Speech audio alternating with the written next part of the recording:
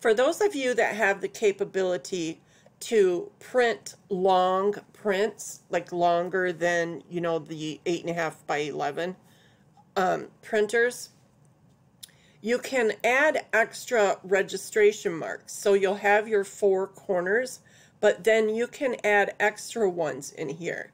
Because what I'm seeing is that on those long cuts that are like 17 inches long or whatever, um, it's cutting this part fine, but then once it gets down here, it starts cutting off. So you can go to cutter, cutter settings, and enable use segment marks Y. And then you can decide if you want, you know, two inches, four inches, six inches, how many ever inches you want them apart. Um, so from here, you want four inches, four inches, four inches, right?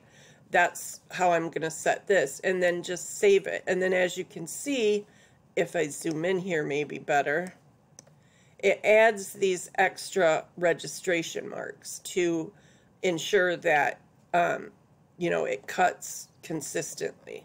I hope this helps.